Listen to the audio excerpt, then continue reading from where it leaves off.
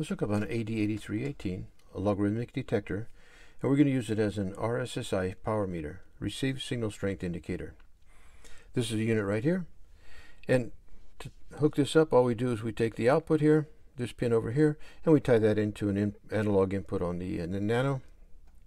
And from the nano, I tied it into a uh, LCD screen, the small screen here. Now, this is the perf board I put it on, and this happens to be the back side of the board. I just do that so I don't get confused when I'm wiring it up. You could use an OLED display or just use the uh, monitor on your computer to, uh, you know, without an LCD display.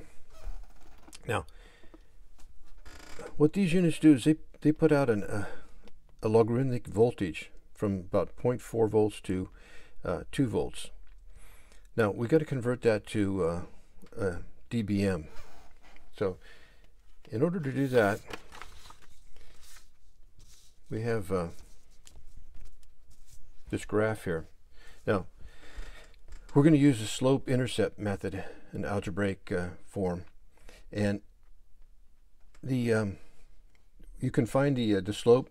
There's a formula up here for finding the slope and a formula to find the, the intercept here. Once you know this, the intercept and the slope, you can use this formula down here Therefore, your power rating is going to be equal to the, uh, the, the voltage out divided by the slope plus the intercept. Now, you know, we don't have to do the math here. In the spec sheet here on page uh, 3, they've done it for you here. This happens to be uh, for a 900 megahertz uh, frequency. Each frequency is a little different. Here the slope is going to be, uh, say, between minus, uh, 26 and minus 23. I picked minus 25. And the intercept is going to be, uh, I picked 22 here. Now, this is in millivolts, so I have to, you have to put 0.024, and this is uh, in uh, dBm, so it's 0.022. So if you add these two together, so it'll, it'll come up to uh, 0.045 or there or 0.047, and if you divide that into 1, so you add those together, divide that into 1, so you had 1 volt here, it would come out to about uh, 22, 21, uh, uh, minus 21 dBm. Okay, so that's all we're doing to uh, to convert our our uh, logarithmic voltage into into dBm on here. Okay, now the way I did it here, we're not. I did it for 900 megahertz. I'm actually going to put in 400 megahertz. it's not calibrated, but if you wanted to calibrate your own, you can do that with, uh, well, they, they tell you how to calibrate it here. Now, for the, um, as far as the Arduino goes, we just take the analog read, okay, and then we take the, the uh, I call that, I get a value there, and I take that uh, times 5 volts divided by uh, 1023, uh, and it gives us our, our voltage that we're putting into the uh, analog pin zero there. Now this we could have changed this to uh, maybe this should be better off to from uh, uh, you know uh, zero to three volts or something, but I just picked five. Uh, so then we take our our V out is going to be equal to the the voltage here.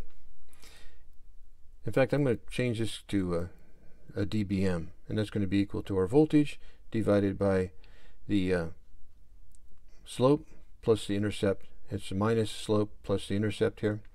And uh, then what I did here is if the value was less than 1, I'm going to I'm to make the the uh, the dBm 0.